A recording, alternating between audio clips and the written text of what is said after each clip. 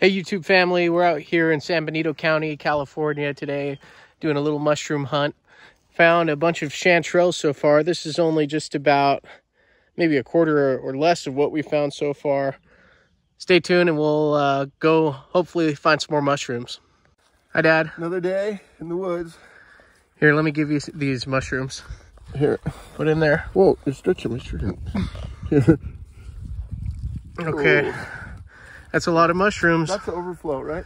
That's overflow. We got more mushrooms uh, back down the trail a little bit. There's Stevie, the mushroom hunting dog. Little Yorkshire Terrier. Me and my dad are trying to figure out if we could somehow train the little Yorkie Stevie here to find the mushrooms.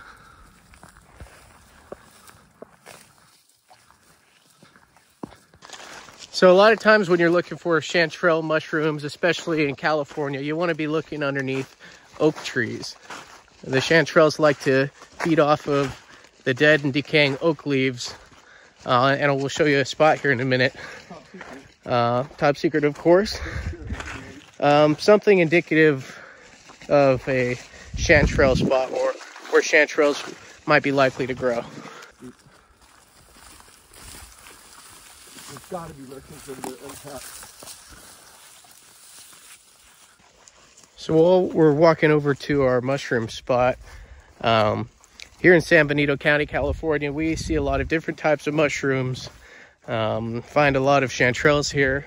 We find a lot of oyster mushrooms, which are really delicious and widespread in this area. Um, from time to time, we'll see some boletes and porcinis, but those are a little less common around these parts. What is that? Pig, that's pig poop. Pig poop. What if that's what he uh, saw the other day when he started barking? Yes, we got some pigs running through here. So we're coming up on the spot where we found um, this entire bag of chanterelle mushrooms here earlier. I think it's a basket. This entire basket of chanterelle mushrooms here earlier, and some fairly decent sized ones. I've seen chanterelles in other parts where they're considerably smaller than these. Um, in our part of California here, we get very large sized chanterelles. There's a good size one right here.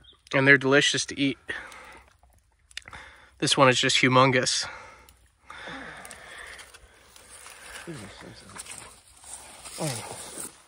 So this spot in here is where we found this entire basket huge basket of chanterelles. I would say this is at least 20 pounds here just in this basket alone.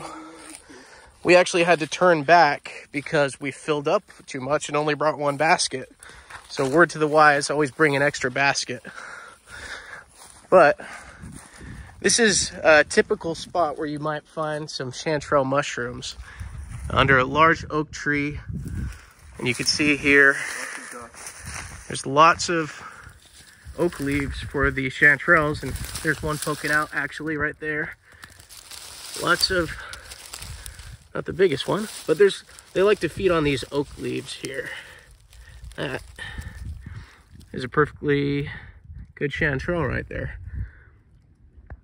So keep a lookout for oak areas shaded and here we filled up the entire basket with just this one spot alone